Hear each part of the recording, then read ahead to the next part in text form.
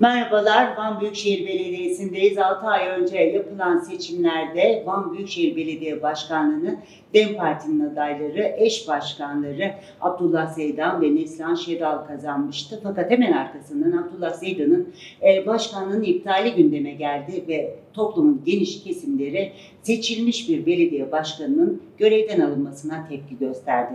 Bugünse iki eş başkan da görevlerinin başında ve Medyaskop'un yayın konukları. Efendim hoş geldiniz.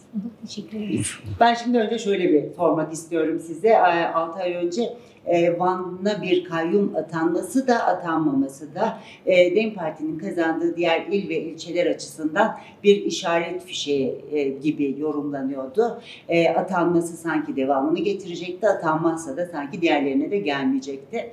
E, bugün görevinizin başındasınız. Bir bu açıdan değerlendirirseniz ve tabii aynı zamanda her şey yolunda mı diye soracağım. Buyurun sizle Evet, başlayın. Göksel Hanım, öncelikle hoş geldiniz. Sizleri ve e, Medyaskop izleyicilerini saygıyla selamlıyoruz. E, tabii biliyorsunuz e, yoğun bir seçim süreci yaşadık. E, bütün eşitsiz koşullara rağmen e, Van'da büyük bir başarı ortaya koyduk. E, biz e, halkımızın önüne çıkarken e, özellikle e, eşit temsiliyet, özgür eş yaşamın en önemli ayaklarından biri olan eş başkanlık sistemiyle çıktık ve iki eş başkan adayı olarak biz e, halkımızın karşısına çıktık ve e, Van halkı da e, büyük bir e, teveccühle hem Büyükşehir e, Belediyesi'ni hem diğer 14 e, toplamda 14 belediyeyi partimize kazandırdı. Dolayısıyla biz bir kez daha e, bu duyarlılığı gösteren, bu fedakarlığı gösteren halkımızı kutluyoruz, tebrik ediyoruz. Bu büyük bir başarıydı. Ve elbette bu başarı halkımızın, kadınların, gençlerin, e, emek veren e, yoldaşlarımızın başarısıydı. E, hemen sonrasında siz de bahsettiniz. Bir mazbata gaspi girişimi oldu. Orada da yine halkımız onurlu bir duruşla, bir direnişle, görkemli bir sahiplenmeyle adaleti, hukuku, demokrasiyi ve kendi iradesini sahiplendi. Bu sahipleyin... yalnız Van'da değil, çok özür dilerim. Evet. Oraya gireceğim. Türkiye'nin dört bir yanında. Evet, evet. Ve siyasi partiler düzeyinde. Tam de. da oraya geliyordum. İşte bu bu e, sahiplenmenin ortaya çıkardığı büyük bir dayanışma da Hı hı. ortaya çıktı. Sizin de ifade ettiğiniz gibi hem Van'da hem Türkiye'nin genelinde neredeyse 85 milyon yurttaşımız, e, bütün siyasi partiler neredeyse en solundan en sağına kadar bütün siyasi partiler, bütün demokratik kitle örgütleri, demokratik kitle örgütleri bu e, yapılan haksızlığa, hukuksuzluğa, halkın iradesine karşı gerçekleşen bu saldırıya e, karşı adaleti ve halkın iradesini sahiplendiler ve bu dayanışma ruhu e, YSK'nin de Yüksek Seçim Kurulu'nun da adaletli bir karar vermesine vesile oldu.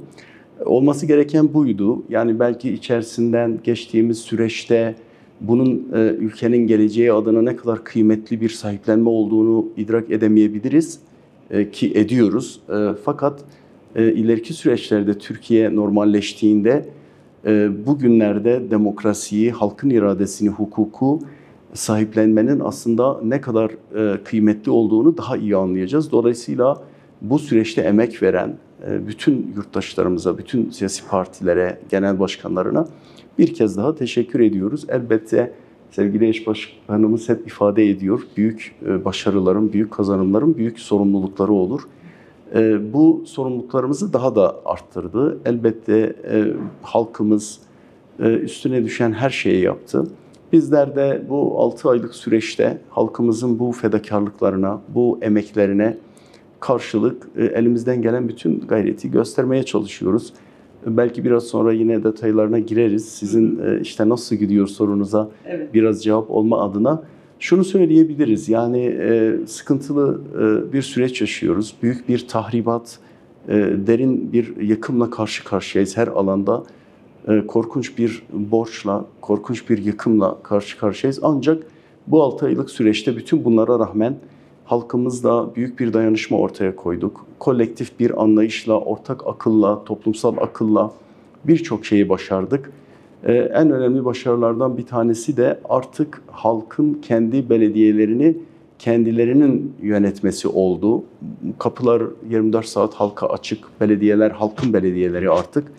Ve hep söylediğimiz gibi e, kentin biriken bütün bu sorunlarını kentin dinamikleriyle birlikte yönetme, kentte yaşayan herkesin farklı görüşlerin aslında bir zenginlik olduğunu da varsayarak bunu kolektif, ortak akla, kentin geleceği adına, kazanımlara e, ulaştırma adına da birlikte çalışmalarımız devam ediyor.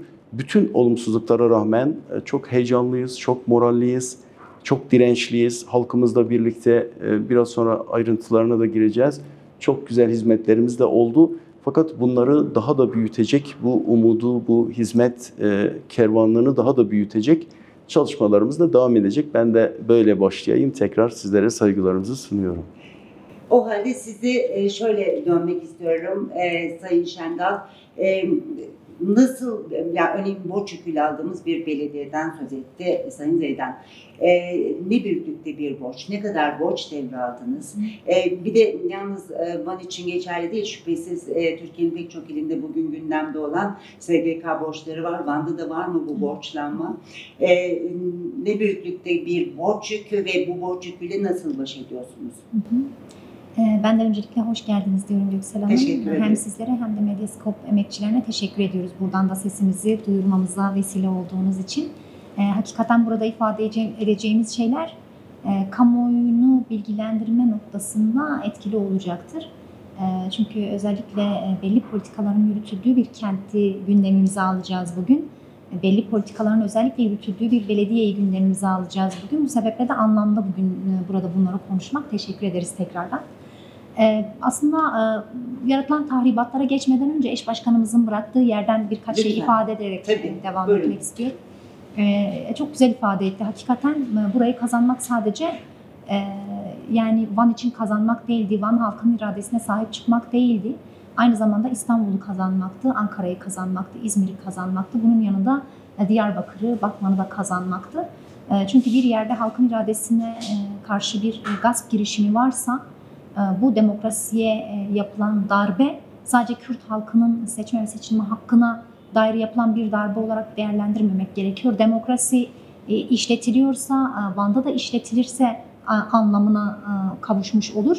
Bu anlam kendini Ankara'da yaşatır, İstanbul'da hayata geçirir. Belki demokrasi böyle ve toplumsallaşma anlamında geniş çeperden ele alıp bir bütünsel olarak değerlendirmek gerekir.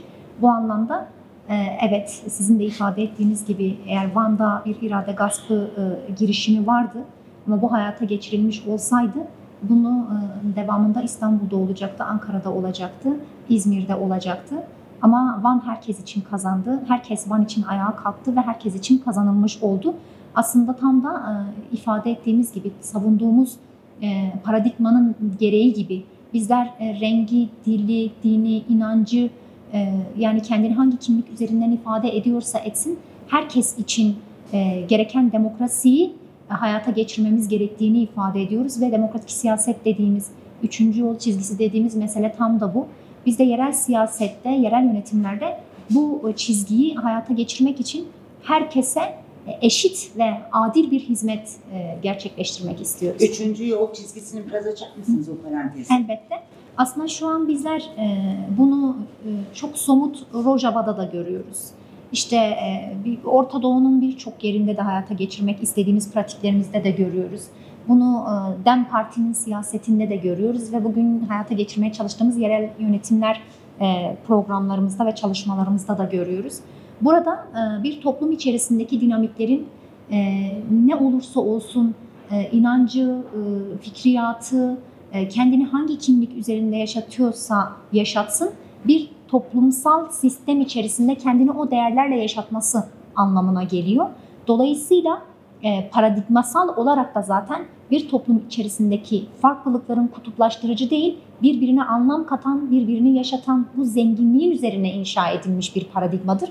Dolayısıyla içi, üçüncü yol çizgisi de gelin bütün farklılıklarımızla, bütün e, işte e, ifade ettiğimiz farklı kimliklerle birlikte ortak, özgür, eşit ve adil bir yaşamı birlikte yaşayalım, birlikte yönetelim, birlikte var edelimi aslında ifade ediyor üçüncü yol çizgisi. Dolayısıyla bizler de bunu yerel yönetimler ayağıyla işte kadınıyla, genciyle, işte Süryanisiyle, Ezidisiyle, Türküyle, Kürdüyle, inancı ne olursa olsun, rengi ne olursa olsun ama birbirini yok eden, birbirini karalayan bir yani kutuplaştırıcı olan bir yerden değil, birbiriyle birlikte onurlu, özgür, eşit, adil bir yaşama var eden ve birlikte yaşayan bir toplumsal tahayyülün gerçekleşmesini ifade ediyor aslında üçüncü yol çizgisi. Biz de yerel yönetimler boyutuyla işte çok, çok dilli belediyecilik, çok inançlı belediyecilik, çok kültürlü belediyecilik anlayışımızın aslında pratikte üçüncü yolu ifade etmesi kendi çalışmalarıyla işte çok dilli kreşler, çok dilli kültür evleri, denkbej evlerinden tutalım da aslında burada bu, bu topraklarda yaşamış hangi inancın kendine ait toplumsal değeri varsa onu geleceğe taşıma, onu yaşatabilme, her inancın kendini kendi öz kimlikleriyle, öz değerleriyle yaşatması e, felsefesine dayanıyor. Dolayısıyla biz tam da bu paradigma üzerinden kendi yerel siyasetimizi demokratikleştirmeyi ve yürütmeyi düşünüyoruz. Bu, bu siyaset herkesi kapsayan, herkes için demokrasi, herkes için özgürlük, herkes için eşitlik demek. Dolayısıyla bu paradigma üzerinden gelişen bir saldırı aslında Kürde gelince Türkiye'de geliyor, Ermeniye'de geliyor, Süryaniye'de geliyor. Dolayısıyla Van'a gelseydi işte Ankara'ya da gelecekti, İzmir'e de gelecekti. Aynen. Biz hiçbir zaman sadece bu siyaseti bir ırkın siyaseti olarak değerlendirmiyoruz. Bir kimliğin siyaseti olarak değerlendirmiyoruz. Çoklu bir kimlik, çoklu bir inanç, çoklu bir e, kültürel sistemin siyaseti olarak değerlendiriyoruz ve böyle hayata geçirmeye çalışıyoruz. Dolayısıyla hani sizin sormuş olduğunuz soruya da bu şekilde e, tamamlamak adına aslında buradan Teşekkür başlamak ederim, istedim. evet. E, Dolayısıyla tam da aslında e, yani sistemsel olarak ele aldığımızda iktidar aklı kendini böyle çoklu kimliklerin, çoklu renklerin, zenginliklerin, güzelliklerin, eşitliklerin üzerine bu bunları yok ederek tekçiliği inşa eder. Dolayısıyla aslında bu kayyumlar sadece işte yönetememe ya da farklı gerekçelerle atanan kayyumlar değildi. Bizim sistemimiz üzerine, bu sistemin inş- inşa olmaması üzerine atanan kayyumlardı. Dolayısıyla eş başkanlık modelimize aslında atanan kayyumlardı. Biraz böyle değerlendirmek gerekiyor. Evet eş başkanımızın şahsında bir girişim vardı ama orada aslında eş başkanlık sistemini yok etmeye dönük bir şey vardı. Bu sistemi yok etmeye dönük bir şey vardı. Şunu da ifade etmek istiyorum. Hakikaten biz bizler ön seçimle seçildik bu arada. Hani bu bunu bu da demokrasinin e, e, hakik- hakikaten radikalleşmesi ve toplumsallaşması için partimizin e, ortaya koyduğu bir yöntemdi ve hakikaten çok demokratik bir demokrasi şöleni olarak değerlendiriyoruz ve bizler işte bütün eş başkanlar olarak ön seçimden e, çıktık ve e, bu ön seçim e, toplum içerisinde çok ciddi bir benimsemeye ve toplumsal kabule dönüştü. Biz seçim sürecinde bizim etrafımızda, bizim şahsımızda işte hani gelişen o ilgi yani bütün eş başkanlar olarak söylüyorum bu arada. O ilgi, o sahiplenme, işte partinin etrafında kenetlenme meselesinin böyle bir şeye dönüşeceğini biz zaten biliyorduk. Hı hı. Çünkü halk diyordu biz kayyumu kabul etmeyeceğiz. Herhangi bir gi- girişim olursa asla biz bunu reddedeceğiz. Çünkü çok ciddi bir öfkeye de dönüşmüştü e, işte kayyumun yarattıkları ve bir modelin kabul edilmemesi, bir halkın dilinin, inancının, kültürünün, değerlerinin kabul edilmemesi demek kayyum, yok etmek demek kayyum. Dolayısıyla buna karşı bir tepki vardı. Ve bizler bu sürecin yaşanacağını aslında az çok tahmin edebiliyorduk. Dolayısıyla e, işte at- atanan kayyumlar tam da bu değerleri yok etme, bu sistemin ortadan kaldırılmasını e, sebebiyet e, sağlama, bir, bir halkın değerlerini, kültürlerini, her şeyini yok etmeye dönük bir atama durumuydu. Ve geldiklerinde hakikaten bunu yaptılar. Bizim arkadaşlarımızın çok ciddi emekle e, yürütmüş oldukları çalışmalar, hayata geçirmiş Evet. oldukları projeler tek tek tasfiye edildi. Neden buraya giriyorum? Çünkü e, biz sadece mali anlamda yaratılan tahribatları değerlendirmiyoruz. 9-10 katrilyona yakın bir borç var. Ve hakikaten burada yapılan borçlanma hali e, bu halkın ihtiyaçlarına... Katrilyon mu dediniz? Evet yani eski e, Ha. parayla 9 10, 10 katrilyon. milyar. Evet Evet, evet şimdiki evet 10 10 milyar.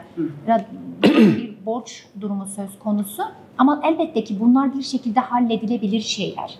Yani hani biz bunu hep böyle değerlendiriyoruz ama e, yani çok ciddi bir sosyolojik tahribat var.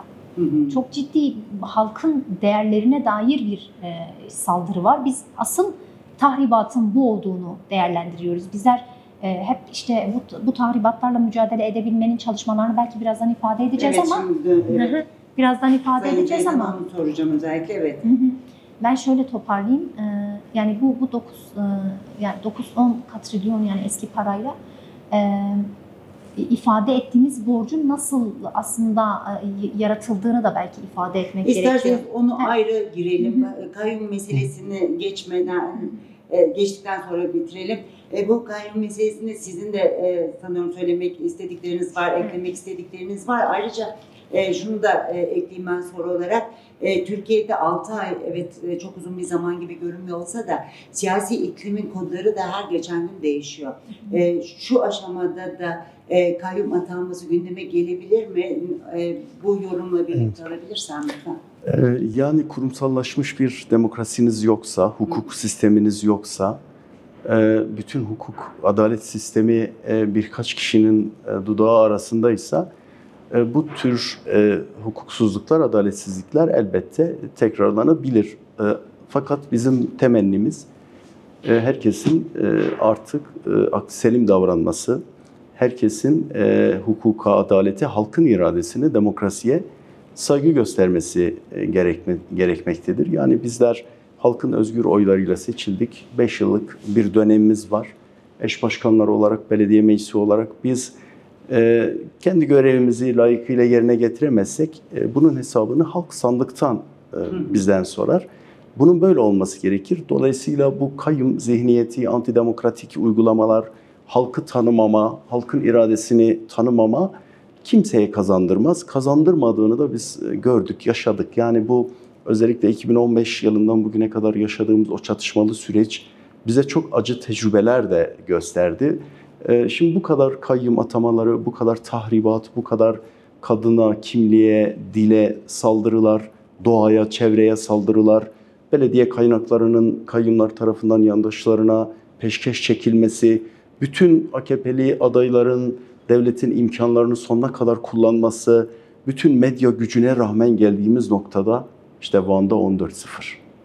Demek ki bu halkı tanımama, Tabii halkın Büyükşehir'le birlikte 13 ilçe? Ondan Evet. 14 belediyenin 14'ünü de biz aldık. Yani karşımızda bu kadar ağır saldırılarla biz karşı karşıya kalmamıza rağmen halkımız bu kadar ağır tehditlerle, tırnak içerisinde vaatlerle karşı karşıya bırakılmasına rağmen bu halk yen- yeniden demokrasiyi, iradesini, hukuku, e, kültürünü, dilini sahiplenmiştir. Dolayısıyla herkesin bundan dersler çıkarması lazım. Ki daha önce Halkı- kayyum atanmış olmasına rağmen Evet. yine kayyum atanır mı endişesiyle Evet. farklı bir tercih de yapabilirdi. Yapmadı diyor.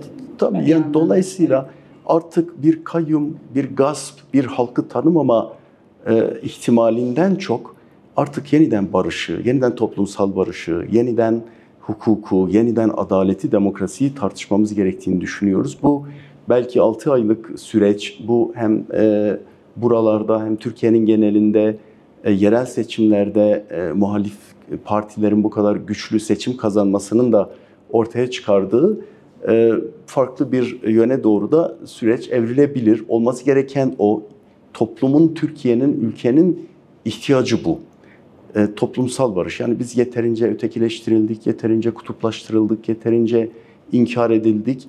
E, yeterince acılar yaşadık. Yeterince annelerin gözyaşı döküldü. Yeterince gençlerimiz hayatlarını kaybetti. Yeterince mali olarak çöktük. Emekliler, gençler, halkımız işsizlikten, yoksulluktan kırılıyor. Dolayısıyla bütün bunları ortadan kaldıracak tek şey, yegane şey herkesin şapkasını önüne koyması, aklı selim davranması, yüzünü barışa, toplumsal barışa, hukuka, adalete, demokrasiye dönmesi ve birlikte onurlu özgür yaşam iradesini güçlendirmek.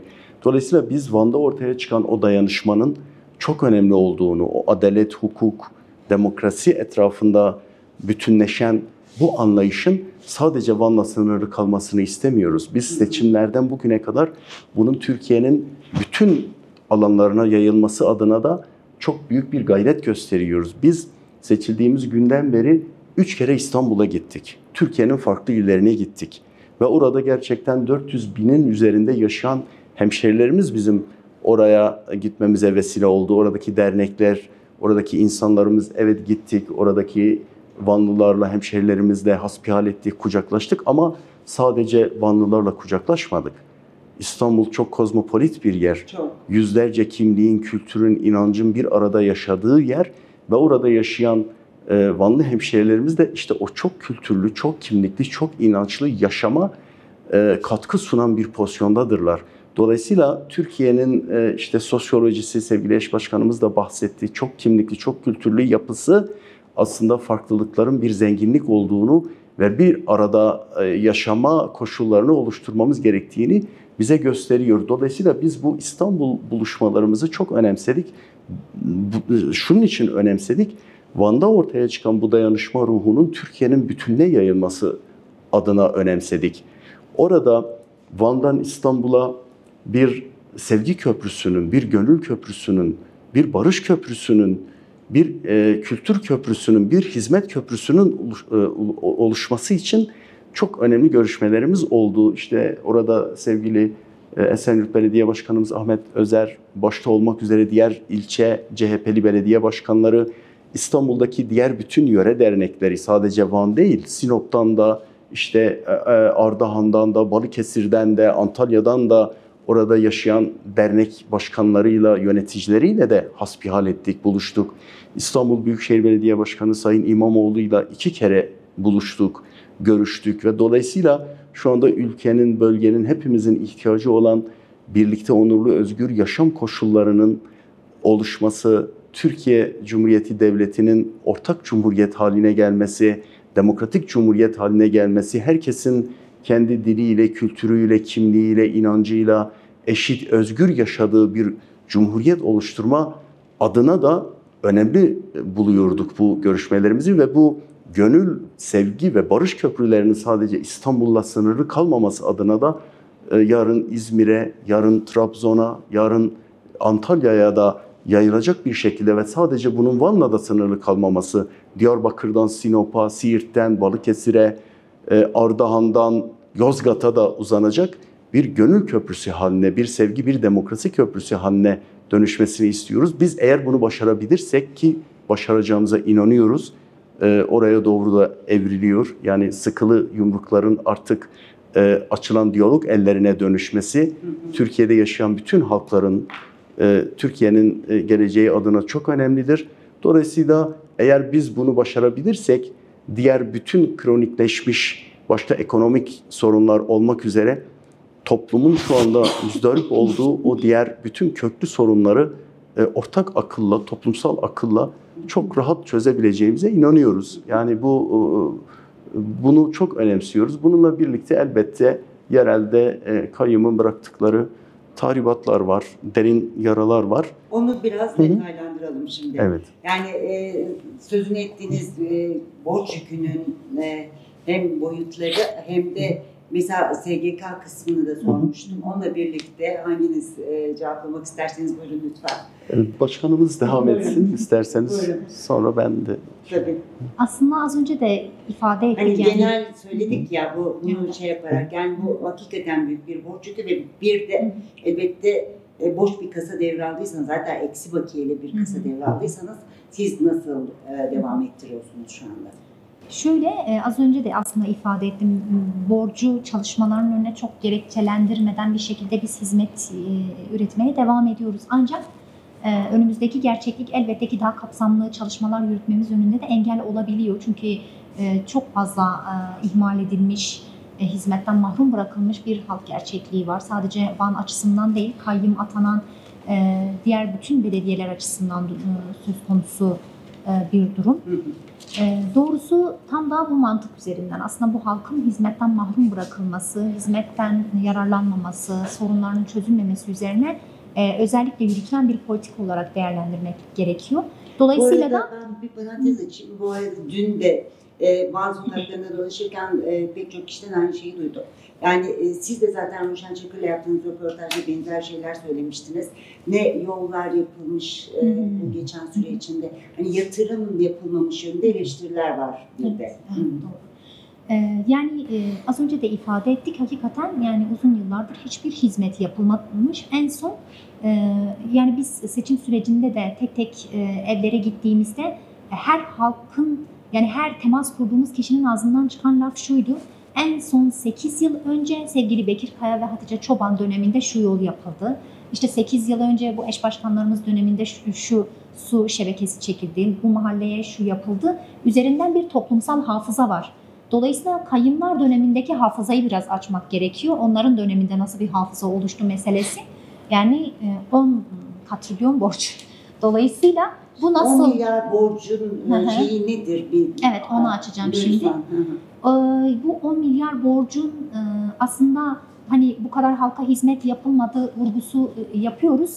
Dolayısıyla asli görevi dışında birçok e, iş yapılmış. Yani nasıl? Şimdi bir devletin kurumları vardır ve devlet yıllık planlamasını yaparken, bütçe planlamasını yaparken her bir kurumun bütçesini ayırarak sen işte yapacağın yıllar yıl şey, çalışmalar içerisinde şu kadar ödenek veriyorum ve bunu yapacaksın der. Bu planlama çerçevesinde hareket eder. Aynısı belediyeler açısından da geçerlidir. Belediyede 5 yıllık stratejik planlamasını yapar, bütçesini buna göre çıkarır ve ödenekler buna göre yapılır. Dolayısıyla biz kayyum süreci içerisinde, e, çalışma süreci içerisine baktığımızda ne bir stratejik planlama var, ne bu yapılacak çalışmalara dair bir bütçeleme planlaması var. Bunların dışında gidilmiş diğer bütün kurumların çalışmaları yürütülmüş. Mesela milli eğitime işte 150'ye yakın okul yapmış, kreş yapmış gibi. Yani zaten milli Ve eğitime siz mi ödüyorsunuz? Evet, şimdi? aynen öyle. Şu an bunun gibi. Yani zaten milli eğitime buna dair bir bütçe ayrılmış. Bu milli eğitimin işidir. Yine biz hep ifade ederiz. Biz okul yapılmasına, kültür merkezi yapılmasına, kütüphanelerin yapılmasına, spor komplekslerinin yapılmasına karşı değiliz. Ancak yapılmamış yollar varsa, bu kentin park ve yeşil alan ihtiyacı varsa, bu kentte hala işte 8-10 yıl önce yapılmış e, su şebekeleri varsa ve bu burada bir toplum sağlığı, halk sağlığı söz konusuysa, halkın evine giden su e, geçtiği borularda sağlık sorunu riski yaratıyorsa öncelikli görevimiz budur belediye ve yerel yönetimler olarak. Dolayısıyla bunlar yapılmamış.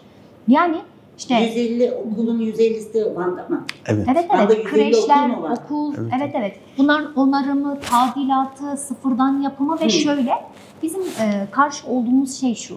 Bu okullar yapılırken olduğu gibi milli eğitime devredilmiş. Yine belediyenin kal, olarak hı. kalmamış.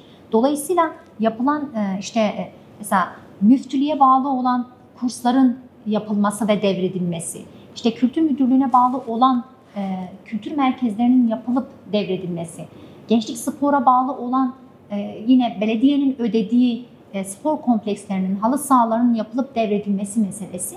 Dolayısıyla bu birçok kadın e, merkezi yapılmış, kadın ve aile merkezi ve bunlar devredilmiş. Şimdi bunlar Onlar yapılırken nerede devredilmiş? işte e, Aztepe devredilmiş, hı Aile Sosyal Politikalar hı. Müdürlüğü'ne devredilmiş. Dolayısıyla böyle olunca yani belediye bile isteye ve çok bilinçli bir şekilde çok yüklü bir borç altında bırakılmış. Dolayısıyla bizler sadece sadece bununla da sınırlı değil. Yapılan birçok çalışmanın e, ödemeleri yapılmamış, bizim geleceğimiz döneme denk getirilmiş. Çok yüklü miktarda yani e, krediler çekilmiş ve ödemeleri bizim dönemimizde yapılmaya başlanmış. Mesela e, su ve kanal, kanalizasyon idaresinin elektrik borcu işte 5 ay boyunca ödenmemiş ve biz geldiğimizde aslında icra takipleri vesaire işte e, elektriğin üzerimize kesilme riskiyle karşı karşıya kalmış oluyoruz.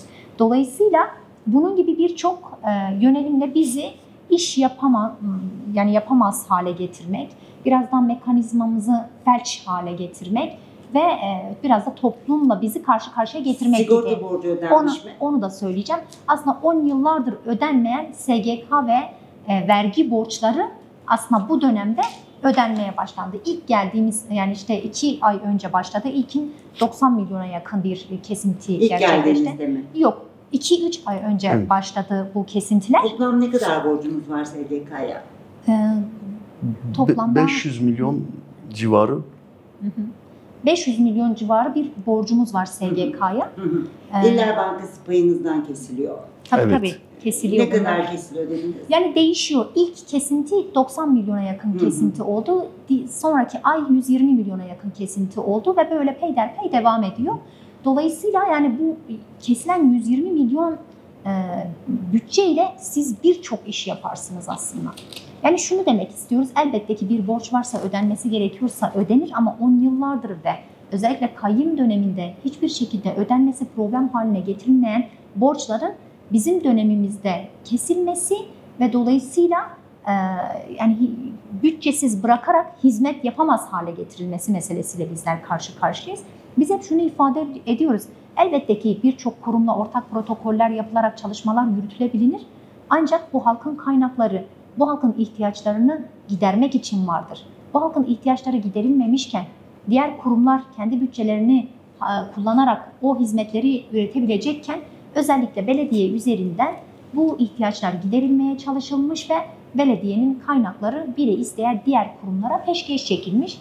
Biz e, bu şekilde hani belediyenin borçlanma halini e, sürekli kamuoyuyla paylaşıyoruz. Aslında halk çok politik bir halk ve e, bu borç e, durumunu zaten kendileri biliyor. Gittiğimiz birçok mahalle toplantısında, aile ziyaretlerinde e, halkın e, ilk kalkıp söylediği şey şu. Bizler belediyenin bile isteye çok ciddi bir borç e, yığını altında olduğunu biliyoruz. Bizler her zaman sizin yanınızdayız. Bizler hangi koşulda olursa olsun belediyemizin, irademizin yanındayız ve bizler sizin için ne yapabiliriz e, refleksiyle karşı karşıya kalıyoruz. Dolayısıyla nasıl iş yapıyorsunuz meselesine evet. gelince e, elbette ki biz e, hani e, hiçbir zaman e, yani kamuoyunu bilgilendirme açısından bunu her zaman ifade ediyoruz. Çünkü bu halk biliyor ama e, bilmeyen herkesin de bilmeye hakkı olduğunu düşünen bir yerden yaklaştığımız için bu borcu özellikle bilgilendirmesini yapıyoruz. Çünkü bu kaynaklar bu halkın sorunlarını çözmek içindir ama bunun için kullanılmamıştır ve bu halka hizmet yapılmamıştır. Bizler e, bunu ifade ederken asla yapacaklarımızın önünde bir engel olarak değil, e, daha güçlü çalışmaları nasıl birlikte yürütebiliriz? Halkı da bunun işte katılımcı belediyecilik, sosyal belediyecilik, işte demokratik belediyecilikten bahsederken halkı tamamen bu sürecin en önemli parçası haline getirme noktasında her şeyden haberdar olmalarını istiyoruz. Hı hı. Bu daha katılımcı bir belediyecilik anlayışını da ön plana çıkarmış oluyor. Haliyle bizler çalışmalarımızı yaparken aslında her adımı e, halkla paylaşmayı esas alıyoruz. Bu e, borç ne, meselesinde nasıl yöntemle paylaşıyorsunuz bunu halkla? Şöyle zaten mahalle toplantılarımız, hı. işte halk buluşmalarımız, e, halkın gelip bizi burada ziyaret etmesi hı. E, sonucu ee, hem belediyenin işleyişi, gündemlerimiz, e, yapılan çalışmalar noktasında sürekli halkı bilgilendiren bir yöntemle çalışmalarımızı yürütüyoruz. Ayrıca meclis toplantılarımız halka açık. Halk gelip izleyebiliyor, katılabiliyor. Bu çağrıyı her zaman yapıyoruz. Sosyal medya hesaplarımızdan ve web sitemizden gündemlerimizi paylaşıyoruz. Aynı zamanda e, kayıt altına alıp belediye sayfasından da paylaşabiliyoruz ve halk aslında belediyenin her adımını izleyebiliyor. Çağrılarımızı yapıyoruz. İhaleler sürecinde gelip izleyebilirsiniz. Çok şeffaf bir şekilde bir belediyecilik e, modeli ortaya koymayı düşünüyoruz. Dolayısıyla hem halkın e, belediye yönetimine olan güvenini ve bağlılığını da bu yöntemle arttırmış oluyoruz. Şey noktasını ifade etmek gerekirse çalışmalar meselesi bizler özellikle Van direnişinden sonra bunu hep ifade ediyoruz. Van'a karşı çok ciddi bir ilgi var. Sadece işte yani Türkiye'den e, değil, Orta Doğu'dan, işte Avrupa'dan, dünyanın birçok yerinden buraya e, ziyaretler oluyor ve yurt dışından özellikle bizimle iletişime geçip Van'la kardeş belediyecilik olsun, gerekli diplomatik ilişkiler olsun bu noktada çok ciddi bir ilgi olduğunu, işte sizinle birlikte şu projeleri ortak yürütebiliriz, e, şu anlamda sizlere destek sunabiliriz gibi gibi görüşmelerimiz çok sık oluyor. Az önce ifade ettiğimiz diplomatik ilişkiler de aslında bu çerçevede e, yürüyor yani. Hizmetleri Herkes, bu sayede verebiliyorsunuz dayanışmayla. Evet hem o hem hem e, sadece kendisi için değil aslında bölgede de çok ciddi bir misyona sahip bir yerde duruyor Van Büyükşehir Belediyesi. Dolayısıyla yaptığımız çalışmaları bu borcu gerekçelendirmeden çok e, ciddi, e, moralli, motivasyonu yüksek, işine dört e, kolla sarılan bir ekibimiz de var. Daire başkanlıklarımız, altında müdürlüklerimiz, bu dünyada çalışan arkadaşlarımızın her birinin belli projelerle hayata geçirmek istediği çalışmalar var. Tarımsal alanda ayrı, kadın alanında ayrı, ulaşım alanında ayrı ayrı belki birazdan ifade edeceğiz ama hı hı. şu an e, çalışmalarımız güçlü bir şekilde devam ediyor diyebilirim. O halde dönelim size. Şimdi e, anlaşılan o ki hakikaten bir dayanışma ağı var. O dayanışma üzerinden yürütülen hizmetler var. Çünkü bir yandan da e, çift taraflı anladığım kadarıyla bir hizmet politikası gidiyorsunuz. E, sosyal anlamdaki yaraları sarma bir yanda ama bir yandan da hizmet üretmeniz Hı. gerekiyor. E, 6 ayda geride kaldı. Bu süre içinde neler yaptınız? Yani e, Evet. başlıklar ve tabii o başlıkların önemli olanların altında açarak. E, Yani şunu ifade edelim, yani e, kaynakları çok doğru kullanıyoruz. Yani e, israf yok, yolsuzluk yok, hırsızlık yok, Hı hı. çalmıyoruz. E, Dolayısıyla bu e, kıt imkanlarla çok işlerde başardık. Yani bu bunu tekrar ifade edelim sevgili eş başkanımız çok güzel ifade ettiler. E, Belediyenin kaynakları diğer resmi kurumlara maalesef peşkeş çekilmiş. Belediyenin içi boşaltılmış. Milli Eğitimin, Spor Bakanlığı'nın, Aile Bakanlığı'nın yapması gereken bütün işler belediye bütçesinden yaptırılmış. Belediyenin asli işlevleri dururken farklı kurumlara peşkeş çekilmiş. Buna rağmen e, biz birçok şey başardık. Bu 10 e, milyar borcun büyük bir kesimi e, kaynağından borcu kesilerek bizim hisselerimiz bize gönderiliyor. Yani İller Bankası'ndan ya da Muhasebet Genel Müdürlüğü'nden bize gelen para e, bu borçlardan kaynaklı eksik bize geliyor. Fakat buna rağmen bizim başardığımız birçok şey var. E, şu şöyle örneklendirebiliriz. Yani şimdi bu 6 yıllık, son 6 yıllık kayyum döneminde bütün Van'da 400 kilometre yol yapılmış. E, yani bütünlü sıcak karışım dediğimiz beseke asfalt, sıcak asfalt. E, biz bu 6 ayda e, 400 kilometre yol ihaleye çıktık ve 200 kilometresini bitirdik. 6 yılda 400, 6 ayda 200 Evet. kilometresi bitti. Ve 400'ünü de ihale ettik. 400 kilometresine ihaleye çıktık. Bunun yarısını neredeyse bitirdik ve yıllardır, 30 yıldır, 40 yıldır yapılmayan köy yollarını ya da ilçe merkez yollarını yapmaya başladık. İşte Bahçesaray'dan tutun Erciş'e, Çaldıran'dan tutun Başkale'ye kadar, e, Çatak'tan tutun e, Özalp'a, Saray'a kadar e, her yere bu şekilde hizmetlerimiz oldu. Yani 6 ayda kayyumun yaptığı 400 kilometre yola karşılık 6 yılda biz bütün bu imkansızlıklara, parasızlıklara rağmen bu 5-6 aylık süreçte 400 kilometre yol ihaleye çıktık. Bunun yarısını 200 kilometreye yakınını bitirdik. Bu sadece e, yol kısmında yaptıklarımız ve bütün bu imkansızlıklara rağmen. Bununla birlikte e, şu çok çarpıcı bir örnek Başkale. Yıllardır bir içme suyu sıkıntısı var. Biz bütün bu imkansızlıklara rağmen Başkale ilçemizin içme suyu ihalesini yaptık. Yapımına başladık. Şu anda %90 seviyeye ulaştık. 15-20 gün içerisinde sevgili eş başkanımız ve yönetici arkadaşlarımızla gidip e, Başkale içme suyunun açılışını yapacağız. Yıllardır suya hasret olan e, 40-50 bin nüfusluk ilçemizi suyla buluşturuyoruz. Bununla birlikte özellikle e, gençlere destek anlamında yıllardır Büyükşehir Belediyesi e, gençlere eğitim desteği vermiyor.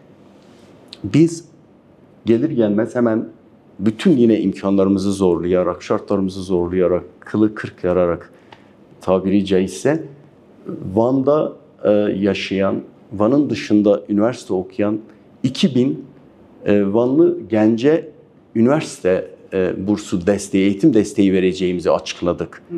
Şimdi o kadar derin bir yoksulluk var ki, o kadar derin bir işsizlik var ki maalesef e, şu ana kadar bize 6000 genç başvurdu. Bakın bizim planlamamız 2000. Biz e, başvuru süreçlerini başlattıktan sonra 6000 gencimiz başvurdu ve biz karar aldık. Bize başvuran bütün gençlerin taleplerini karşılayacağız. Hiçbir genci umutsuz, çaresiz bırakmayacağız. Gönüllerine Nasıl bir dokunacağız.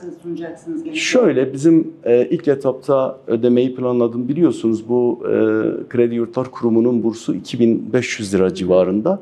Biz biraz bunun üstüne çıkarak bütün o planlama süreçlerimizi 2000 gence e, eğitim desteği verecek şekilde ayda 4000 TL olarak planlamıştık. Ancak bu e, başvuru sayısı 6000'e ulaşınca ve gerçekten ve e, onların gençlerin yanında olduğumuzu, gönüllerimizin onlarla birlikte olduğunu, umutlarını hiçbir şekilde tüketmemeleri adına, dirençli, moralli olmaları adına biz bu aylık ödeyeceğimiz miktarı düşürüp e, bütün gençlerin faydalanacağı bir şekilde e, dağıtacağız.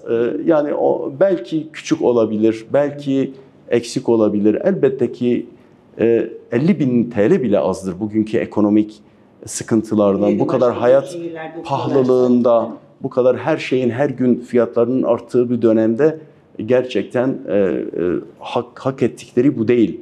50 bindir en az o gençlerin ama e, bizim de ma- mali sıkıntılarımız ortada. Hakikaten bunu da ifade edelim. Yani belki fiili olarak bir kayım ataması e, resmi olarak yapmıyorlar.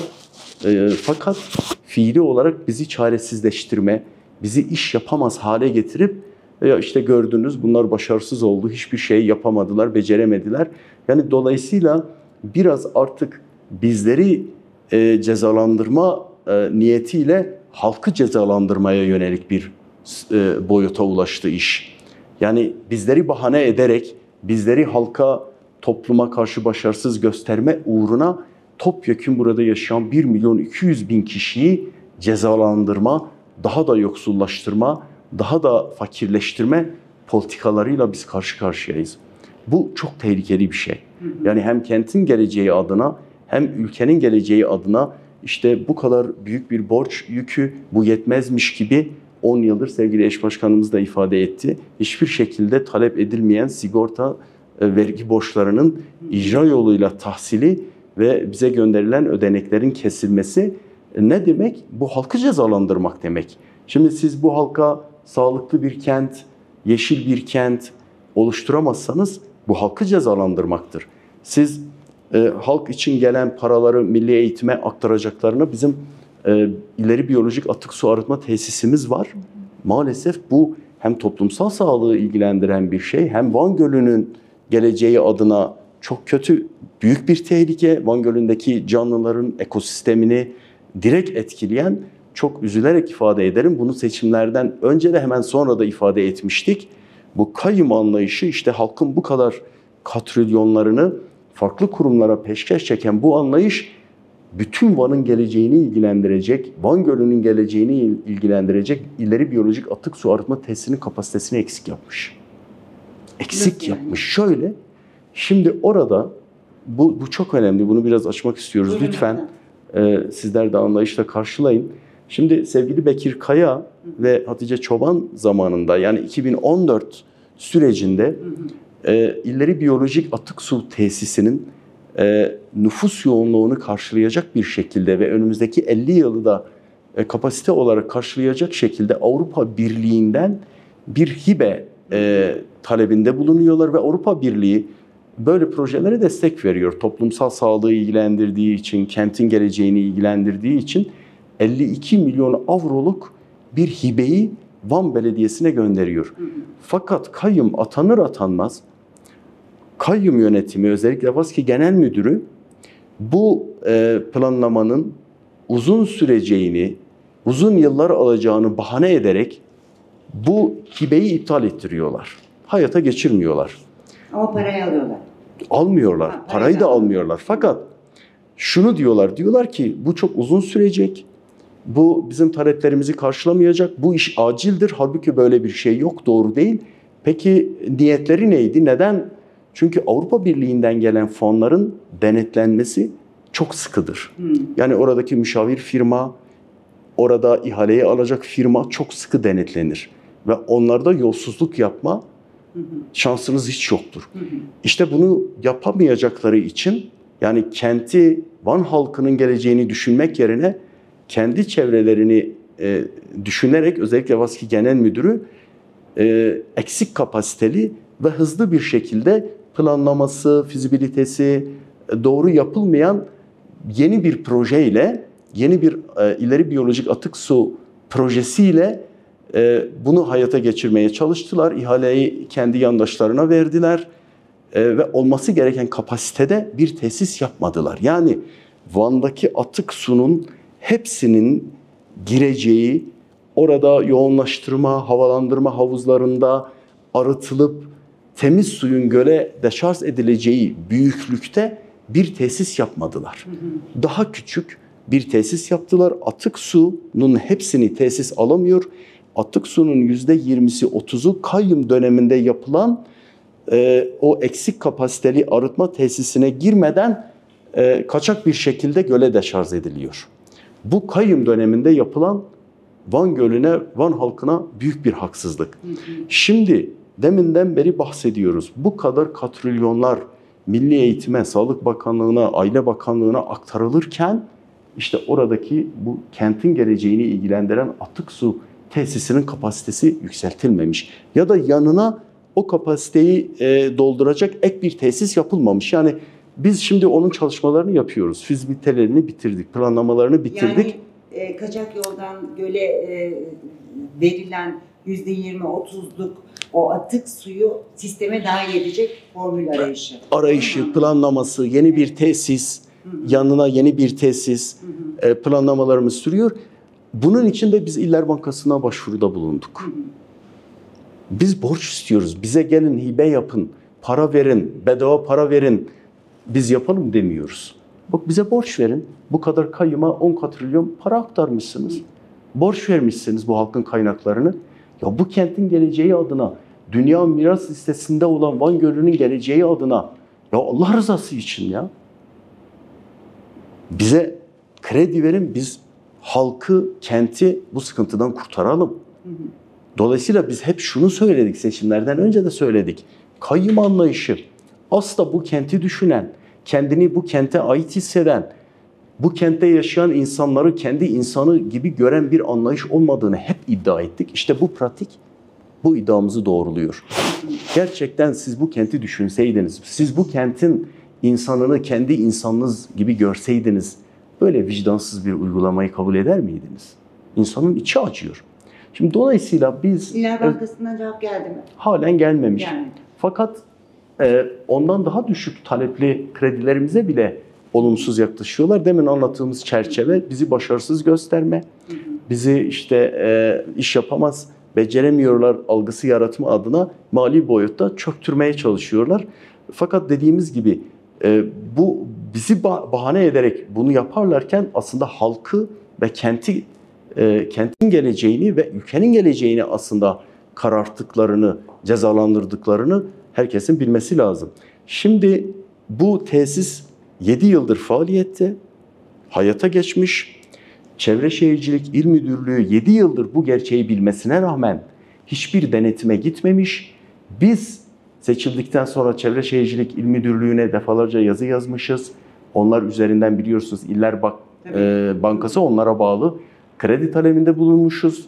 Bu toplumsal sağlığı, Van Gölü'nü, ekosistemi e, tehlikeye atan, geleceğimizi tehlikeye atan bir sorun. Lütfen gelin bize kredi verin, biz bu işi çözelim taleplerinde bulunurken geçen Çevre Şehircilik İl Müdürlüğü'nün ekipleri gelmiş, bu kaçak dejarstan dolayı bize ceza yazmış. Yani orada yaratmak istedikleri algı şu, sanki bütün bu e, hataların, eksiklerin sebebi kayyum anlayışı, kay- kayyum yönetimi değilmiş, yeni yönetimmiş gibi bir algı yaratma çabası olduğunu biz biliyoruz. Ve buradan sizlerin vasıtanızla bir kez daha çağrı yapıyoruz.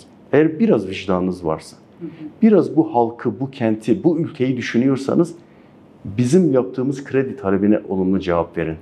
Biz halkı ve Van Gölü'nü, Van kentimizi bu ızdıraptan kurtaralım. Şimdi e, bununla birlikte biliyorsunuz sosyal belediyecilik anlamında yaptığımız birçok şey var. Sevgili eş başkanımız da belki biraz sonra ifade eder. Yani sosyal kart, maddi durumu kötü olan, evine hiçbir ekmek götüremeyen insanlarımıza küçük de olsa bir katkı sunmak. Soracağım. Özellikle kadınları da soracağım. Evet, e, işte Jin Kart uygulamamız var. Evet.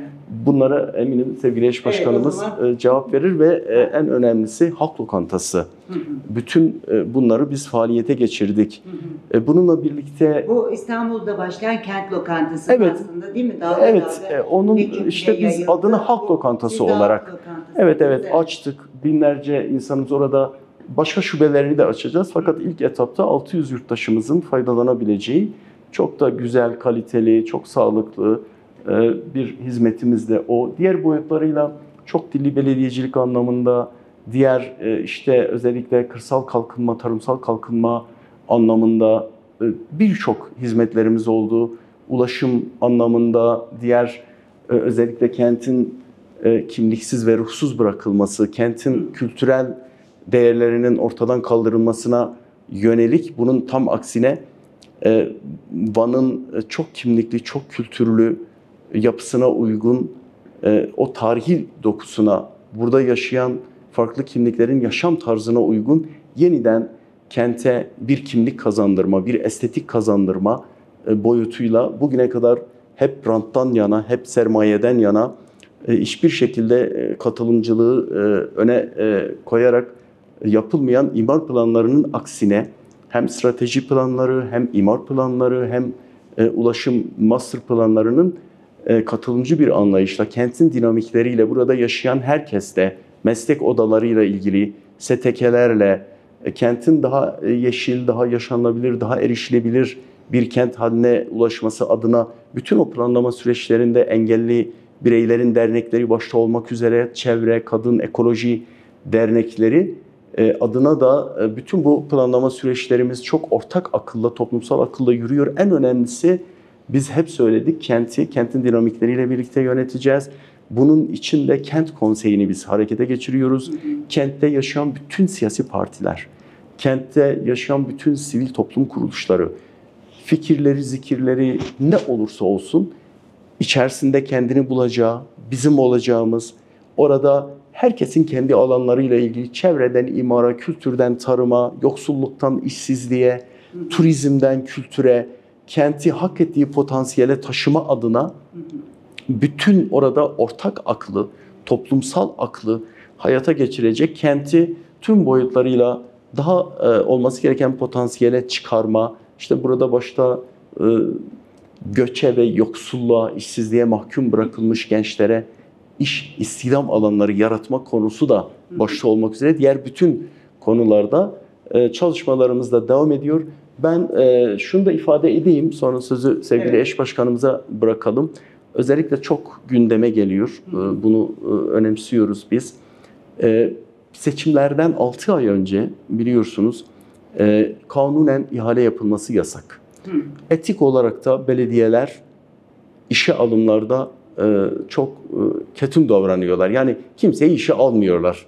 Öyle olması gerekiyor etik olarak. Fakat bu kayım e, çok ihtiyaç fazlası personel işe almış. Kaç Sırf- sayı verirseniz. Yani e, sayıları binleri buluyor. Fakat biz son 6 ayı kıstas alarak e, Büyükşehir Belediyesi'nde ve bağlı bulunduğu VASKİ e, kurumundan e, bu şekilde e, aslında torpille, aslında birçoğu AKP'li bürokratın yakını, AKP'li siyasetçinin yakını, e, zengin çocuklarının e, seçim vaadiyle işe alındığını biz öğrendik, gördük. Ve son 6 ay içerisinde e, o kanunen yetkimiz de vardı. Bu şekilde işe alınanları biz işten çıkarmak zorunda kaldık. Çok çarpıcı örnekleri var. Yani e, burada aslında e, belediye bütçesinin personel giderinin %30'unu aşmaması gereken bir gerçeklik varken kayyım bunu da göz önünde bulundurmamış, belediyeleri doldurdukça doldurmuş. Biz de bir inisiyatif aldık. Bu süreçte hiçbir adalet mekanizması yürütülmemiş. Yani bu insanlar işe alınırken Van'da bir ilan yapılmamış. Ey Van halkı biz belediyeye insanları alacağız. Gelin siz de başvurun. İhtiyaç sahipleri artık biz mülakat mı yaparız, kura mı çekeriz, yazılı sınav mı yaparız? Bu adalet mekanizması hiç işletilmemiş ve maalesef ahbap çavuş ilişkileriyle buralar tıka basa doldurulmuş. Çok çarpıcı örnekleri var. Ee, mesela bunlardan bir tanesi e, Van Büyükşehir Belediyesi Teftiş Kurulu Başkanı. Yani belediyeyi denetleyecek, belediyede yolsuzluk, hırsızlık, usulsüzlük var mı diye denetleyecek insanın eşini seçimlerden bir ay önce işe almışlar. Ne görevli? İşçi, Hı hı. işçi. Yani bu Belvan şirketi var. Hiçbir adalet mekanizması işletilmemiş, ilan yapılmamış, sınav yapılmamış. İkili ilişkiler üzerinden bakınız bu çok çarpıcı bir şey. Çok vahim bir şey. Yani ahlaki çöküşün pervasızlığın bir çarpıcı örneğidir. Yani bir belediyeyi teftiş edecek, kontrol edecek teftiş kurulu başkanının eşini kayyum işe alıyor. Neden alıyor? Neden korkuyorsunuz? Ya da ne borcunuz var ona? Neyi kapatmayı vaat ettiniz de eşini aldınız? Nenin denetlenmesini istemediniz? Bu kadar fakir fukara varken, bu kadar işe ihtiyacı olan insanlar varken siz nasıl bir teftiş kurulu başkanının eşini alırsınız? Ya da bir AKP'li siyasetçinin. Yani burada isim vermek istemiyoruz. Van'ın en zenginlerinden birinin en zenginlerinden birinin Siyasal Bilgiler Fakültesi mezunu oğlunu bir ay önce işçi olarak işe almışlar. Seçimlerden bir ay önce. Bakınız çocuk Siyasal Bilgiler Fakültesi mezunu işçi olarak almışlar. Ve Van'ın en zenginlerinden birinin çocuğu. Şimdi bu yetmemiş, bu yetmemiş. O iş insanı bir de damadını işe sokmuş. Bakınız. O kadar çarpıcı örnekleri var ki. Şimdi dolayısıyla biz orada kamuoyu vicdanının rahatlatması ne adına şimdi biz bu insanları bu işte- eşi. işten çıkardık. Hı hı. Fakat şunu da ifade edelim. O dönem evet bir adalet mekanizması işletilmemiş, evet kayyım e, ikili ilişkiler üzerinden insanları işe almış. Peki gerçekten bunların içerisinde ihtiyacı olan, fakir olan insanlar yok mu? Var. Bak biz onu inkar etmiyoruz. Ve onların mahkeme süreçleri devam ediyor. Mahkeme süreçleri neticelendiği zaman biz o gerçekten ihtiyacı olan, gerçekten emekçi olan kardeşlerimizi yeniden değerlendireceğimizi hep söyledik. Hı hı. Yeniden ifade edelim. Kaç Ama- kişi var mahkeme süreci olarak? Yani e, 250'ye yakın bir e, başvuru var mahkemeye. Tabii bunların içerisinde bahsettiğimiz zengin, torpille, rüşvetle, ikili ilişkilerle işe girenler var. Onların e, kesinlikle ayıracağız.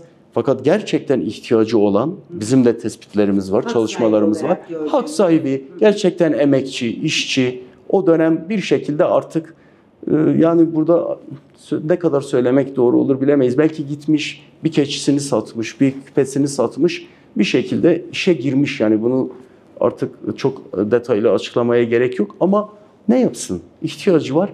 Biz bunları yeniden e, o e, emekten yana tavrımızdan dolayı, emekçiden yana tavrımızdan dolayı yeniden değerlendireceğimizi seçimden önce de söylüyorduk. Şimdi de söylüyoruz. O hukuki süreç neticelensin. Onların durumunu farklı bir şekilde değerlendireceğiz. Ben de bunları ifade edeyim. Çok Biraz- teşekkürler. Yavaş yavaş da toparlayalım ama tabii ki sizinle toparlayalım. Eklemek istedikleriniz varsa elbette alırız. Ee, son derece e, güzel ve geniş bir açıdan baktık Van'daki sorunlara ama kadınları konuşmadık. Sosyal desteği konuşmadık. Ve bunların her biri çok önemli şüphesiz. Sizin de bu konuda yaptığınız çalışmalar olduğunu biliyoruz. Buyurun. E, doğrusu e, yani Van m, belki az önce e, ifade ettiğimiz gibi hakikaten m, çok kökleşmiş ve çözülmesi zor olan sorunlarla dolu.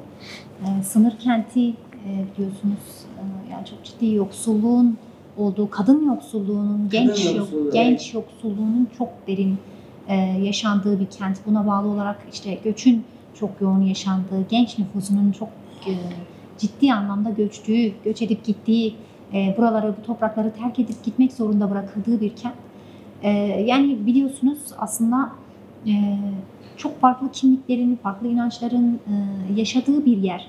Güzelliklerinin olduğu kadar bilinçli olarak farklı farklı politikaların yürüterek sorunların da kökleştirilmeye çalışıldığı bir yer de aynı zamanda. Bu sorunlardan bir tanesi de ve en temelde aslında bütün toplumsal sorunların eklemlendiği, o sorun çözülmezse hiçbir sorunun çözülemeyeceği mesele dediğimiz aslında kadın özgürlük sorununun e, yaşandığı bir kent. Yani çok yakın bir tarihte biliyorsunuz birkaç gün önce e, Van e, 100. Yıl Üniversitesi'nde aslında henüz iki günlük e, öğrenciyken e, kaybolan Rojin'in cansız bedenine ulaşıldı. E, gün geçmiyor ki kadın intiharlarıyla uyanmıyoruz. Kadına yönelik şiddet meselesi hakikaten e, çok ciddi bir sorun. E, dolayısıyla hani kadın yoksulluğu aynı Ki zamanda. eskiden burada e, e, bu konuya e, direkt bu soruna çözüm eli uzatan dernekler vardı. Bugün o dernekler de yok. Evet, şöyle ki aslında kadın potansiyelinin çok güçlü olduğu bir kent, kadın örgütlülüğünün güçlü olduğu bir kent aynı zamanda var. Kendini zaten hissettiriyor. Özellikle direniş döneminde de hani kadınların ön planda olması e, kendini bu anlamda da hissettirdi, gösterdi. E, Ancak işte bazı güzelliklerin e, söz konusu iktidarlar olunca yönelimleri de bu güzelliklere karşı olabiliyor. Dolayısıyla kadın potansiyeli, kadın örgütlülüğü güçlü olduğu kadar kadınlara yönelimin de özel savaş politikalarıyla özellikle yönelimin de güçlü olduğu bir kent aynı zamanda. Bizler fikriyat olarak hani hep şunu ifade ediyoruz. Demokratik, ekolojik ve kadın özgürlükçü bir yaşam felsefesiyle yerel yönetimler modelimizi örmeye çalışıyoruz. Dolayısıyla ekolojik meselesinden hani eş başkanımız ifade etti. Ama kadın meselesi, kadın özgürlük sorunu hakikaten uzun yıllardır hani sivil toplum kuruluşlarının e, hem fikriyat olarak partimizin çalışmalarının hani e, Özgür Kadın Hareketi olarak da bir dönem ben e, çalışmalarda yer aldım ki hala öyle. E, Şimdi ise yerel yönetimler boyutuyla kadın çalışmalarını aslında güçlü bir şekilde yürütmeye çalışıyoruz. Siz ifade ettiniz aslında o hal döneminden sonra hem vakıflar hem kadın dernekleri kapatılınca özellikle kayyum süreciyle de denk gelince kadın özgürlük meselesi sorunu gittikçe derinleşti. Kadın intiharları arttı, kadın yönelik şiddet meselesi Korumasız arttı. Kadın, kaldı. tabii tabii. Çünkü bizim çalışmalarımız vardı buna dönük. Hani sığınak tırnak içerisinde söylüyorum ama kadın yaşam alanı olarak değerlendiriyoruz. Kadınların şiddet ortamından çıkıp daha özgürce yaşayabileceği alanlar açmıştık. Onlar kayyum döneminde kapatıldı. Kadın yaşam merkezlerinin içerisi aslında hani tamamen biraz daha toplumun, iktidarın oluşturmak istediği klasik kadın rolünün üreticisi olan yerlere dönüştürüldü.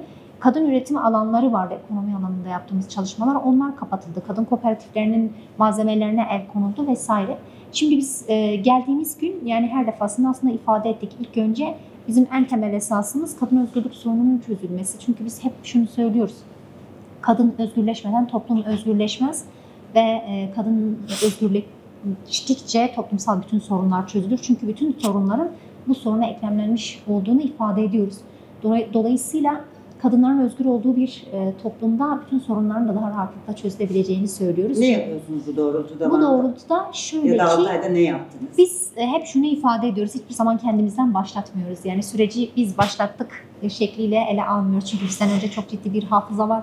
Bizden önce verilmiş bir emek Ama var. biliyoruz ki o, o hafıza e, bir ara kesintiye uğradı. Evet. Siz 6 aydır görevdesiniz. 6 ayda siz yeniden neleri yaptınız, harekete Evet. geçirdiniz? Tam da bahsettiğiniz gibi e, yok edildi bu alanlar ve bizler de tek tek yeniden işte kadınların şiddet ortamından çıkıp daha özgür yaşayabileceği alanların açılmasına dönük e, işte bakan biliyorsunuz tasarruf tedbirleri denen bir genelge Evet. var ve her şey bu genelgeye bağlı olduğu için yapmaya çalıştığımız açmak istediğimiz kurumlarda bu genelgeye takılıyor maalesef söz konusu kadınların yaşamı olsa dahi. Sığına, kadın Evet, sığınağı, evet, evet. Bunun için- kastediyorsunuz. Evet, Hı aynen öyle. Bunun için bakanlığa gerekli yazışmalarımızı yaptık. Ee, Bunun sonucunu bekliyoruz ve hızlıca bir işte bunun girişimlerini başlattık. Öyle hı. diyeyim. Bununla birlikte aslında hani kadınların e, yerel yönetimlerle yani belediyelerle kurabileceği iletişim kanalları kapatılmıştı. Bunun için hemen JIN kadın masamızı açtık. Dolayısıyla burada hem web e, sitemiz üzerinden hem telefon e, kadın JIN yine kadın danışma hattı, dayanışma hattını da açtık. Bu kanallar üzerinden kadınlar sadece buraya gelerek değil, telefonları üzerinden, internet, işte bilgisayar üzerinden de bize ulaşabiliyorlar, taleplerini dile getirebiliyorlar. Aynı zamanda kadın yaşam merkezlerimizi açıyoruz ve açmaya Çok devam özür dilerim. Ona ediyoruz. geçmeden şeyi merak ettim. Sözünü ettiğiniz bu JIN e, kadın masasına e, gelen e, şikayetlerin başına ne çekiyor? En çok hangi konuda şikayet alıyorsunuz? Şöyle e, en çok kadın yoksulluğunun derinleştiği bir kent olduğu için istihdam alanı, iş başvurusu, üretim alanlarına dair İş talepler. talep ediyorlar, Evet. öyle mi? Evet, Hı, En çok iş talep ediliyor. Evet. Ama en çok yine kadına yönelik şiddet, psikolojik destek, adli yardım meselesi e, buna dair bir e, talep de var. Bizlerin buna dair, dair girişimleri de var. Hani kurumsal olarak yerlerimizi açıyoruz ama aynı zamanda sivil toplum kuruluşlarıyla birlikte ortak e, protokollerle de e, kadına yönelik şiddetle mücadele etmeyi e, hani e, etmenin yöntemlerini de geliştiriyoruz. Bunlardan bir tanesi Van Barosu ile yaptığımız Evet. adli yardım Hı. e, desteği protokolü. Dolayısıyla buraya gelip de e, bu e, süreci hukuki anlamda desteklememizi isteyen e, kadın arkadaşlarımızın baroyla ortak avukat talebini de e, gerçekleştirebiliyoruz. Bu arada e, hukuki desteği de bu şekilde sağlamış oluyoruz. Bizler bunu belediye bünyesinde de yapabiliriz. Ancak biz bu süreci sivil toplum kuruluşlarıyla birlikte yürütmeyi düşünüyoruz. Yani, Aynı zamanda kadın kooperatifleriyle, kadın yönelik müca- şiddetle mücadele eden derneklerle eğitimsel anlamda, üretimsel anlamda, ekonomik anlamda yani ve hukuki anlamda psikolojik ve sosyo- sosyolojik her anlamda danışmanlık isteyen e, her anlamda buna dair e, ortak yani sivil toplum kuruluşlarıyla ortak çalışmalar yürütüp götürüyoruz. Ama şunları ifade etmek lazım. Buna dair e, üretim alanları, e, aynı zamanda kadınların gelip e, sanatsal anlamda e, yani dahil olmak istedikleri alanların yanında bizler şunu da e, hep ifade ettik. E, sosyal belediyecilik mantığımız sosyal yardımın karşısında e, onun bir sosyal hak olduğunu, kendisinin hakkı olduğunu anlayışını da göstererek, bunu toplumda var etmeye çalışarak bir çalışma tarzı ortaya koyuyoruz. Hep şunu ifade ettik. İçinde yaşadığımız toplum, kent belli yani ekonomik olarak belli standartlara ulaştıkta, ulaşana kadar bu destekleri sağlayacağız. Hı. Zaten açtığımız üretim alanları, tarım ve hayvancılık, turizm anlamında yapacağımız çalışmalar, projeler kenti ekonomik anlamda belli bir standarta ulaştıracak. Ama bu bu seviyeye gelene kadar bizler kadınlar için aynı zamanda her yerde pet matiklerimizi oluşturacağımızı söylemiştik. Ama bunu da kendimiz üreterek, bunun çalışmalarını başlattık. Hı, Kadınlar üretin. için Evet. hijyenik pet üretmeyi ve yani bu kitleri yani bu paketleri kendimiz hazırlayacağız.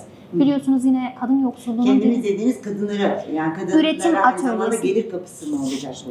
Evet, aynı zamanda üretim atölyeleri olacak ve Hı hı. bu hijyen yani hijyen hijyen alanı olduğu için belki çok fazla Hı hı. üretim alanına dönüşmeyebilir ama şunu yapmayı planlıyoruz. Aynı zamanda belediye bünyesinde kadınlar için iç çamaşırı üretimi Hı. ve bunları yani biliyorsunuz bu tür şeyler hakikaten erişim noktasında çok zorlandığımız şeyler. Kendimizi de bunun dışında tutan bir Evet. yerden ele almayalım. Hakikaten e, bu kadar yoksulluğun derinleştiği bir yerde hem ulaşım anlamında hem hijyen anlamında, giyim kuşam anlamında kadınları rahatlatabilecek en azından belli bir seviyeye ulaşana kadar bu alanlarda da çalışmalarımız devam Bu edecek. atölyeler henüz başlamadı ama faaliyete değil mi? Ee, şöyle, e, şu an teknik anlamda başvurularımız, yazışmalarımız başladı. En kısa süre içerisinde bu süreci tamamladıktan sonra üretimimiz başlayacak. Aynen. Hı hı. Ee, yani e, şu an ilçelerimizde de e, kadın yaşam alanlarımız oluşturuluyor. İşte kilim dokuma atölyelerimiz e, oluştu. Birkaç yerde açtık, açmaya devam ediyoruz. E, çok yakın bir tarihte kadın eserleri kütüphanesi ve araştırma merkezimizi açacağız. Burası kadınlar için tamamen özgün bir alan olacak. Biliyorsunuz cinsiyetçilik ideolojisi denen bir ideoloji bas- başımıza bela ve bunun için bununla mücadele etmek ve bunun bundan kaynaklı bütün toplumsal sorunlarla mücadele edebilmek için kadınlar için özgür alanlar, özgün alanlar olmalı. Okuyabilecekleri, araştırabilecekleri, kendi tarihleri hakkında farkındalık yaratabilecekleri alanları da oluşturacağız. Kadın parklarımız, kadın yürüyüş parkurlarımız, aynı zamanda üretim atölyelerimiz, akademilerimiz gibi gibi birçok projemiz yakın zamanda e, hayata geçmiş olacak. Geçmiş diyeyim. olacak. Evet. Ee, çok çok teşekkürler ediyorum. Ee, hakikaten e, 6 ayı da öncesini de sonrasını da e, enine boyuna almaya çalıştık. Ekleyeceğiniz bir şey varsa. Ben müsaadenizle Buyurun. bir şey daha eklemek istiyorum. Yani kent biliyorsunuz bir deprem kenti. Tabii, bir Ee, yandan da evet. Yakın zamanda yıl dönümü de var. O 2011'de Hı hı. e, bine yakın yurttaşımız yaşamını yitirdi. Hem onlara hem e, ondan e, önceki sonraki depremlerde yaşamını yitiren tüm yurttaşlarımıza Allah'tan rahmet diliyoruz. E, Bu kadar ciddi bir deprem riski, bir afet riski olmasına rağmen bu konuda da kayyumun yaptığı hiçbir çalışma yok. Biz bunu çok önemsiyoruz. Özellikle burada ilgili meslek odaları, TUMOP başta olmak üzere buradaki e, dirençli olmayan yapı stoğunun hemen tespit edilmesi Hı hı. ve onların depreme dayanıklı dirençli yapılar haline getirilmesi açısından protokoller sürecinde başlattık. Çok Ha, önemli. Evet. e, Onları yerinden dönüştürme çalışmalarımız, planlamalarımız da e, sürüyor. E, maliyeti çok yüksek biliyoruz ama bir yerden başlamak lazım. E, daha da önemlisi e, bir afet koordinasyon merkezi yok Van'da. Hı hı. Yani bu kadar afetlerle karşı karşıya kalma riski olan bir kentte afet koordinasyon merkezi yok. Biz hemen ilk işlerimizden biri o oldu. Belediye meclisimizden o kararı aldık. Afet İşleri Daire Başkanlığı'nı kurduk.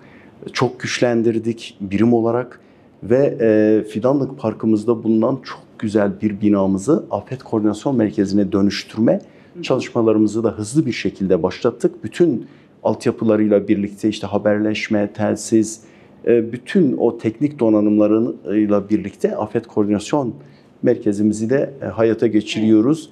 Hem deprem öncesi hazırlık, hem deprem anı hazırlık, hem deprem sonrası o bütün hazırlık aşamalarında e, o planlama süreçlerini de işte gönüllü faaliyetler, acil müdahale ekipleri, acil arama kurtarma ekipleri sadece Van'la da alakalı değil.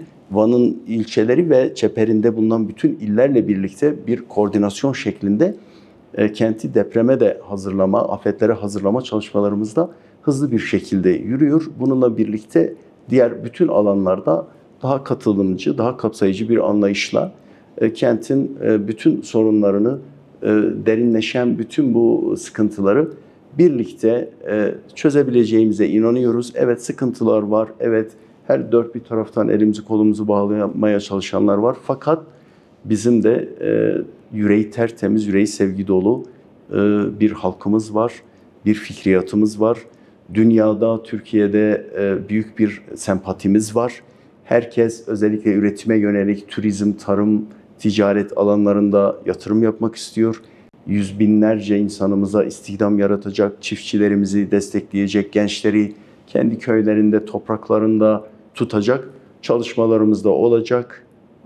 Dolayısıyla kimse umutsuz olmasın, kimse e, moralini bozmasın. Biz bundan daha ağır süreçlerden defalarca küllerimizden doğmuş bir siyasal hareketiz. Kentin dinamikleriyle birlikte, halkımızla birlikte bu sıkıntılı süreçleri de aşacağımıza inanıyoruz. Biz de e, tekrar sizleri burada görmekten mutluluk duyduğumuzu belirtiyor, saygılarımızı sunuyoruz. Ben teşekkür ederim efendim yayınımıza katıldığınız için. Evet, Van'da, Van Büyükşehir Belediyesi'ndeydik. Sayın Abdullah Seydan ve Neslihan Şedal'la birlikte e, Büyükşehir Belediyesi'nin 6 ayını geçmişiyle geleceğiyle birlikte değerlendirdik. Hoşçakalın.